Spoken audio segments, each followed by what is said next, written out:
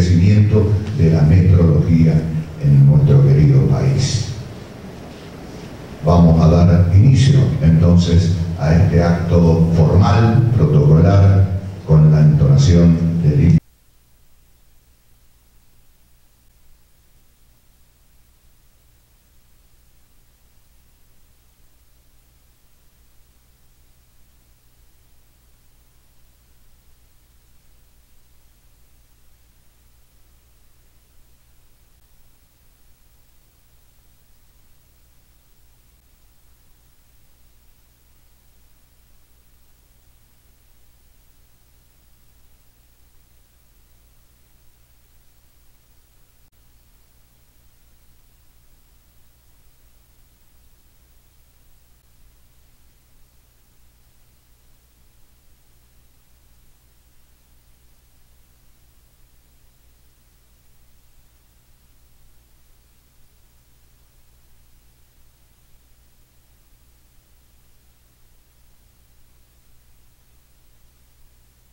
Hoy 20 de mayo se celebra en todo el mundo el Día Mundial de la Metrología.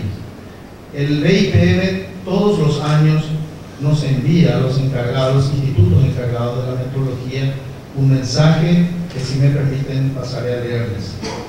Este año trata de las mediciones y el desafío energético global.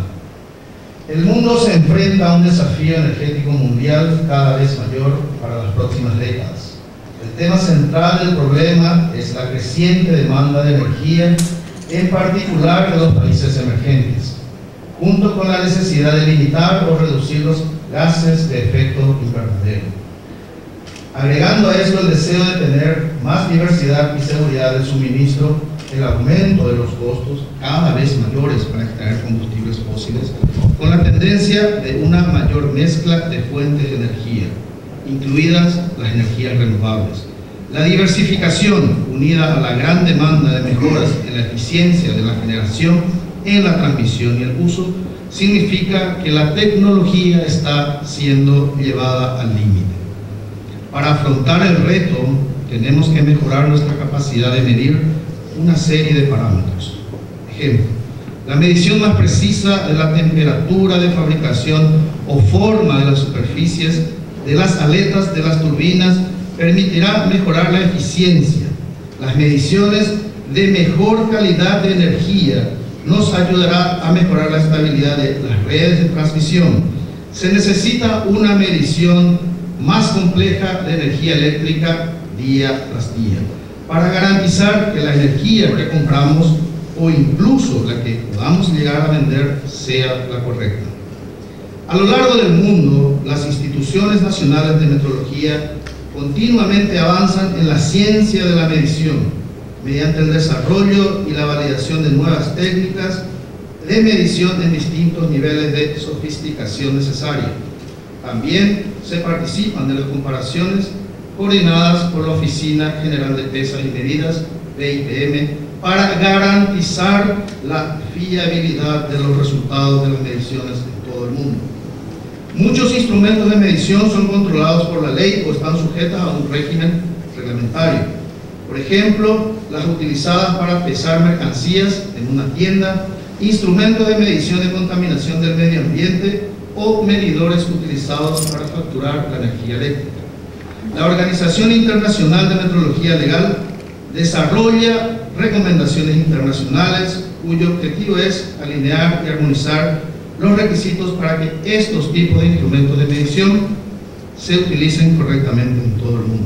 Nosotros tenemos la obligación de hacer cumplir una ley que está dormida y está dormida por dos razones. Primero porque no hay credibilidad en el sistema o en el producto biodiesel y en segundo lugar porque los precios están muy altos.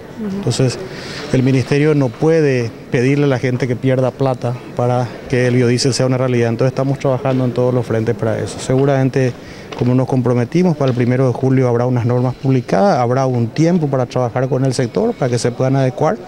También la calidad del etanol es muy importante. Nosotros tenemos, tenemos que darle tranquilidad al consumidor de que cuando carga un litro de algo que está en el surtidor sea exactamente lo que él está creyendo que está comprando. Y en eso estamos trabajando también. ¿Eso va a ser para la producción nacional, ministro? Para la producción nacional, claro. El, el, el etanol y el biodiesel que se utiliza en nuestros combustibles es 100% de producción nacional y evidentemente nos va a ayudar a que si trabajamos imaginativamente también gotee hacia el pequeño productor rural paraguayo. Pero no tiene nada que ver con las importaciones eso. No, no tiene nada que ver. Las importaciones son los derivados de petróleo. Uh -huh. Acá estamos hablando de biocombustibles, son derivados de productos que nosotros producimos en el agro, o sea, de la caña de azúcar, del maíz, en el caso del etanol, y en el caso del biodiesel, de la soja, el coco, el tártaro y N El 1 de julio recién se va a hacer. El 1 de julio vamos a publicar las nuevas normas para que la gente tenga seis meses de tiempo para adecuarse, para los procesos, para que hagamos una revisión completa. De hecho, una vez que tengamos el, el borrador,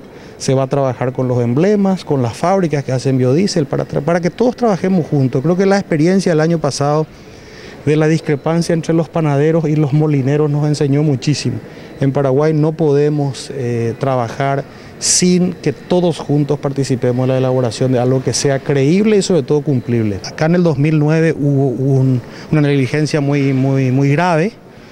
Eh, el componente de grasa que se permitió en ese momento o que no se controló en ese momento en el biodiesel creó muchísimos problemas a las estaciones de servicio, a los emblemas, al propio Petropar. Entonces tenemos que trabajar en que si nuestro sistema es serio, eso no se pueda volver a repetir. No solamente no se repita, que no se pueda volver a repetir. Y a partir de ahí vamos a tener un país más serio. ¿Se maneja cuántos productores de biodiesel existen?